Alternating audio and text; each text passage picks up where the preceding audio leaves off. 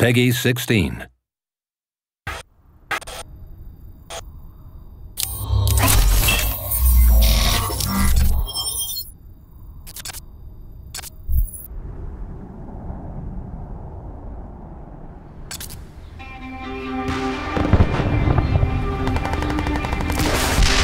Crysis 2 multiplayer is a new generation of multiplayer game. Why? Well, it's simple. The nanosuit. Every soldier in the game has been issued with a state-of-the-art battlesuit that uses nanotechnology to enhance their fighting abilities. And when we say state-of-the-art, we mean state-of-the-art 2023. So these suits pack some serious tech that opens up the battlefield like never before. Outnumbered? Armor up and level the playing field. Need to be somewhere else? Slide out of trouble. Surprise! It's your suit's stealth ability. Believe me, you will love the suit, and your opponents will learn to respect your suit.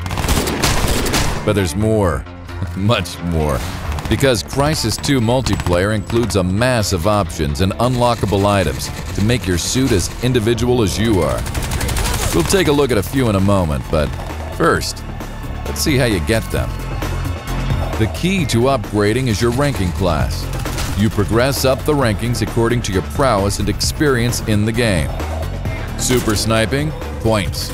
Frontal assault? Points. Camping like a baby? No points. The higher up the ranks you progress, the more upgrades become available to you.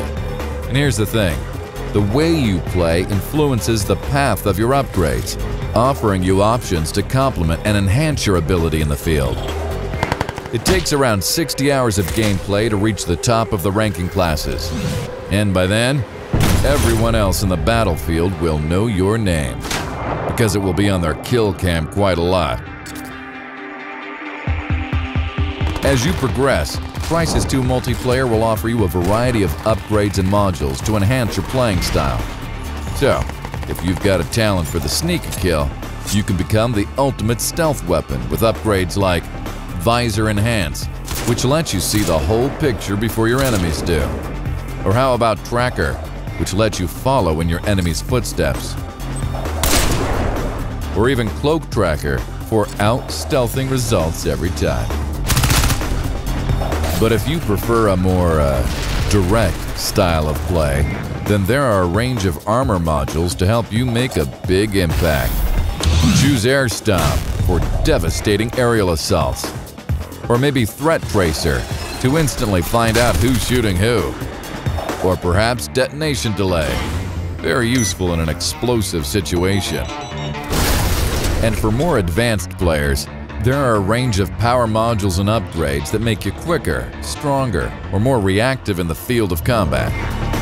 For instance, weapon modules allow you to enhance your rate of fire, speed up your reload rate and weapon switching, and even enhance your aim when firing from the hip.